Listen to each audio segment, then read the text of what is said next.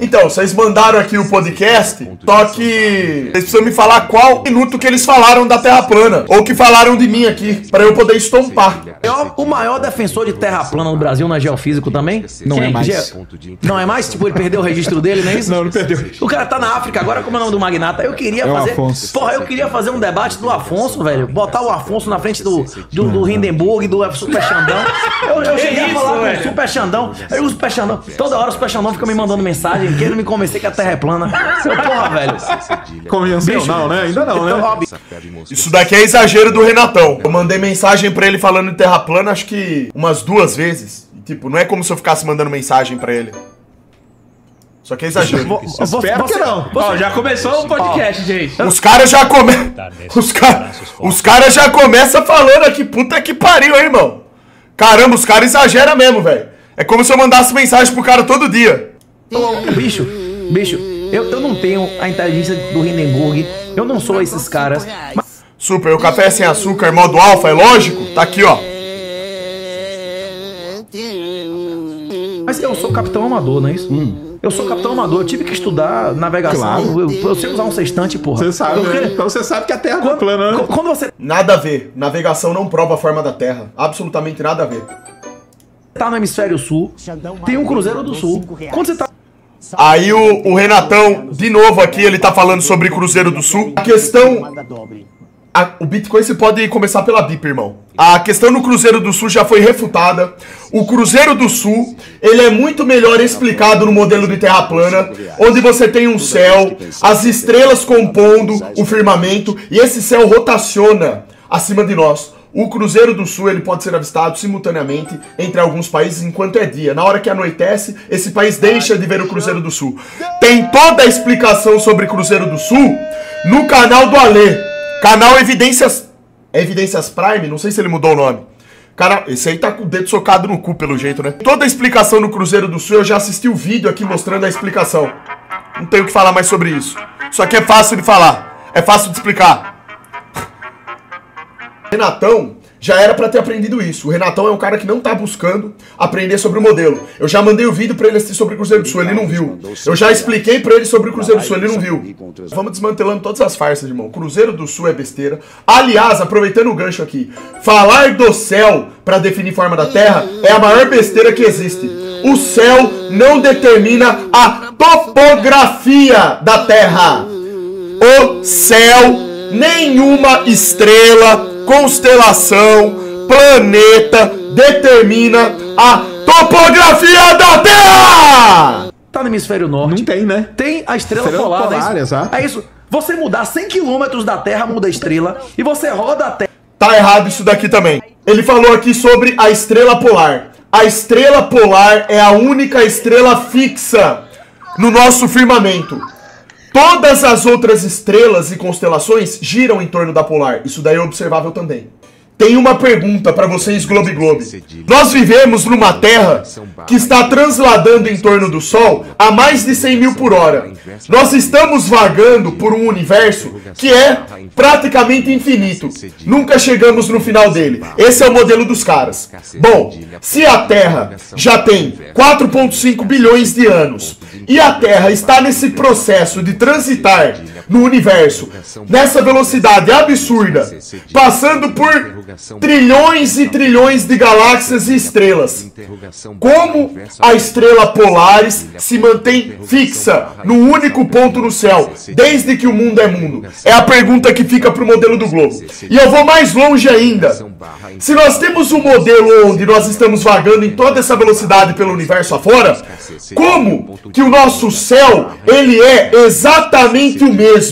As constelações têm a mesma movimentação desde que o mundo é mundo, as estrelas estão sempre no mesmo posicionamento, fazendo sempre o mesmo giro, sempre exatamente exatamente a mesma observação do céu é feita desde que a Terra surgiu. Como que o modelo do globo explica isso? Veja bem, no modelo do globo, eu vou mais longe ainda para o modelo do globo. No modelo do globo, a Terra ela dá uma volta em torno de si mesma em um ano. Ok. Isso significa que a cada seis meses a Terra girou. Metade. Ora, durante seis meses, então, era para eu ter uma observação X do céu, e após esses seis meses, por virarmos do outro lado, era para você observar uma parte diferente do céu. Porque a Terra está voltada para o outro lado do universo. Isso não acontece. Durante o ano inteiro você observa as mesmas constelações, os mesmos planetas, tudo do mesmo jeito, cumprindo com a mesma movimentação. Isso não faz o menor sentido no modelo do globo. Só que esses caras nunca se questionam sobre isso. Por que, que eu estou falando tudo isso? Para desmantelar de uma vez por todas essa falácia que é lançada em torno do assunto, porque eu nunca vi isso. A gente está discutindo sobre a forma da Terra. Em vez de discutir sobre termodinâmica e teste de curvatura, eles falam do céu. Eu nunca vi isso. Onde que está o sentido disso? Me explica. Ninguém está falando do céu. Estamos falando da Terra, daquilo que nós podemos observar aqui. Terra, 20 mil quilômetros, porra, e o céu é o mesmo. Exatamente. O céu é o mesmo. A observação do céu sendo a mesma o ano inteiro, desde que o mundo é mundo, pelo amor de Deus. O céu é um problema pro globo, não é um problema pra Terra plana. No modelo da Terra plana, a Terra tá parada, as estrelas que estão se movendo. Maromba mandou 5 reais. O próprio 38 aqui está admitindo. O céu é o mesmo, exato. Onde que faz isso aqui é um argumento de quem não entende o próprio modelo do globo. Foi o que eu acabei de mostrar aqui. O modelo do globo é isso. É isso aqui, ó. Beleza? Como que num modelo como esse aqui, o céu seria o mesmo? É impossível! Você está vagando por uma galáxia imensa! Imensa! Impossível de ser medida, de ser mensurada! O 38 é um cara que cita sempre a Bíblia, porque ele defende os valores corretos. Isso é admirável. Mas o 38 se esquece de ler Gênesis. Ou seja, ele se esqueceu de ler como foi a criação do mundo. Quando Deus criou a terra, ele fez as estrelas, colocou as estrelas no firmamento, criou sol e lua. O sol para governar o dia e a lua para governar a noite. Deus deixou claro que isso foi feito para servir de referência para o homem. Se o 38 ele segue a Bíblia, ele tem que admitir isso. Comentando aí, ó. O Renato não conhece o modelo da Terra plana. Se ele soubesse, não falaria isso daí. Um argumento, não conhece o modelo da Terra plana. Só que o problema é que ele falou aqui no começo do podcast que eu fico mandando mensagem pra ele toda hora. Isso é mentira. Eu não fico mandando mensagem pra ele toda hora. Foi uma extrapolação dele. Eu expliquei pra ele isso daí. Ele me perguntou sobre o Cruzeiro do Sul. E eu falei isso pra ele. E eu mandei vídeo pra ele explicando. Um vídeo de 8 minutos ele não viu. Então, tipo assim. Se o cara vem me perguntar uma coisa e eu respondo, ele ignora e depois ele continua insistindo no argumento, poxa, isso não faz o menor sentido, né? Como é que essa porra pode ser plana? Ah, não sei. Beleza, a lua. Quando você muda de latitude, muda a angulação da lua? Muda. Porra, acabou, porra! Não? Errado de novo, 38. As trajetórias foram demarcadas nesses mapas não porque uma pessoa no nível do solo fez a mensuração. Ela nunca andou numa linha reta e mediu através do solo essas medidas de latitudes. Essas medidas foram feitas com base nas observações do céu. Do céu. É aí que está o problema. Para você fazer um mapa com exatidão, você precisa medir essas distâncias entre pontos específicos através do chão. Só que isso é muito complicado de fazer. Imagina, como que você vai sair de um ponto A e pensar que você vai conseguir traçar uma linha reta até um outro ponto, lá na puta que pariu? Isso é muito difícil. Então, eles utilizaram como base o céu. Como que as circunnavegações eram feitas? De onde que eles tiravam a referência deles? Do céu. O céu, ele muda? Muda. Ele está girando em torno de nós. Existe um índice de refração que muda a nossa percepção em relação às estrelas? A maneira como essa luz desvia e chega aos nossos olhos? Existe. Não dá para você basear uma rota com base no céu e pensar que isso é um resultado fixo. Não dá. Essas medidas devem ser feitas no chão. Só que é justamente esse o problema. É por isso que nem o mapa do globo, nem o mapa do globo e muito menos o mapa da Terra plana, eles têm 100% de precisão. Estão entendendo? Bora. É isso mesmo. Como é que ela é plana se você muda de latitude e após simetricamente muda a angulação da lua? Você porra? explicou isso daí. Você falou isso daí pra Ele ele. não, mas a gravidade não existe. Aí é foda. A gravidade não, existia Xandão, eu gosto demais. pra caralho do Xandão. Eu também gosto, eu falo com ele aí. Agora, o outro cara, como é o nome da, da, da, da, da- o geofísico, seu colega lá, como é o nome dele? Afonso. Afonso é foda. KKKKK, Xandão, você é muito trela. Como fala que vai botar a entidade maldita Eu vou- pra se você não tem poder e coragem pra isso. Eu vou falar, Homem bater no eu vou falar aqui de novo. KKKK, seja sincero com o público barra. Eu vou falar aqui de novo. Eu vou lançar pela trilionésima vez esse desafio, que até agora ninguém quis.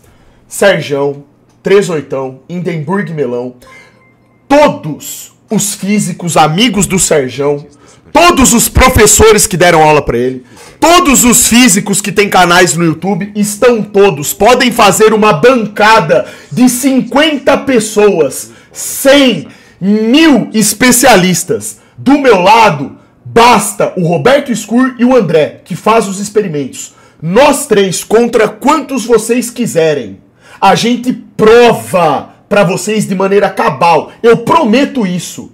Eu prometo, eu tô aqui oferecendo, eu tô mostrando o meu rosto, eu tô dizendo aqui na minha live, num canal de mais de um milhão de inscritos. A gravidade é uma farsa. Não sou eu que tô falando, eu provo isso. O André prova isso, o Scur prova isso. Isso é provado através de termodinâmica. Vocês duvidam? Vocês preferem fazer chacota? Ou vocês preferem aceitar o desafio e virem pro debate? Chamem todos! Todos aqueles que vocês acham que têm condição de discutir de homem para homem, com respeito, essas questões. Eu vou falar aqui outra coisa.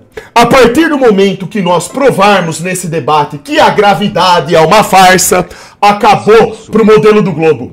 O modelo do globo def... O modelo do globo depende fundamentalmente da existência da gravidade. Se você mostra que a gravidade é uma farsa, o modelo do globo está morto. E eu vou mais longe ainda. Você sabe por que, que existe a gravidade e por que, que o modelo do globo defende a gravidade como uma deusa do modelo deles? Porque a gravidade nada mais é do que um bode expiatório para fazer possível as pessoas acreditarem nisso aqui, ó. Que você vive nisso aqui.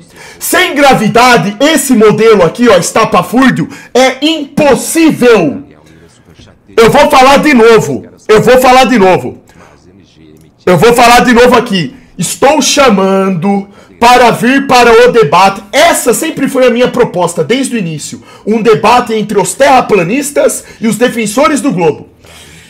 Ficar falando toda hora em podcasts aleatórios de questões que já foram respondidas, Cruzeiro do Sul, baboseira de sol da meia-noite, e não discutir o cerne da questão, aquilo que nós provamos que é uma farsa, não vai levar ninguém a lugar nenhum. Então, já que os defensores do globo têm tanta certeza de que a gravidade existe, inclusive eles dizem que eu sou maluco de falar que não existe, eu estou falando aqui, porque eu tenho coragem para falar isso. Eu não sou homem de meia tigela, eu tô aqui para falar a verdade.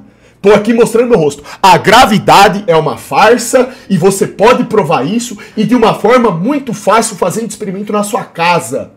Agora eu devolvo a pergunta. Quantos Globe Globe vocês viram até hoje provando massa traindo massa? Quantos? Eu vou falar um milhão de vezes isso daí. Repetir de novo.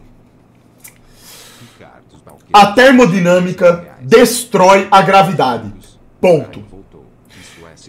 Toda pessoa que preza a ciência verdadeira, a ciência de verdade, que exige teste, empirismo, observações, medições, terão que concordar com isso, uma vez que os experimentos já foram realizados e estão disponíveis no canal do André.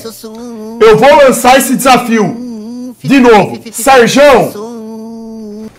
Serjão, vocês falaram aqui que vocês gostam de mim, isso nem vem ao caso.